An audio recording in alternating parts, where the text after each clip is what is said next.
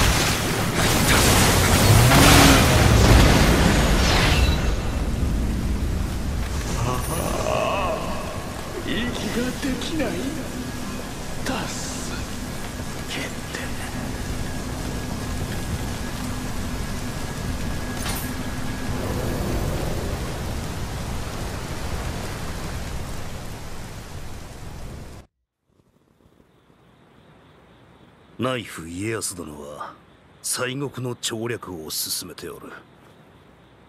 毛利では異国の者まで連れておったぞ。東国の守備はどうじゃ大谷行部殿。信州真田はこちらにつきましょう。しかし東国は今や徳川が本拠。多くの大名がすでに密約を結んでおりまする。三成殿も人気がないのいやはや全く。いかにすればここまで嫌われることができましょう。ならば物のわからぬ大名どもに今一度義を解こう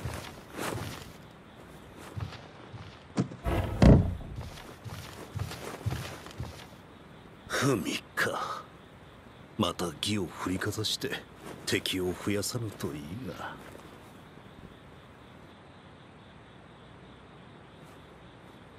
家康殿には正攻法では勝てぬ。わしと共に手を汚してくれんか行部殿よ、うん、もはやろくに目も見えず下法で生きておるに。今さら聖堂を歩もうと神仏の救いは受けられますまい。この者が太宰府に秘匿された五国の霊石を見つけこたびの戦で役立ててはと申しておりまする。わしらも異国の者に頼ると申すか。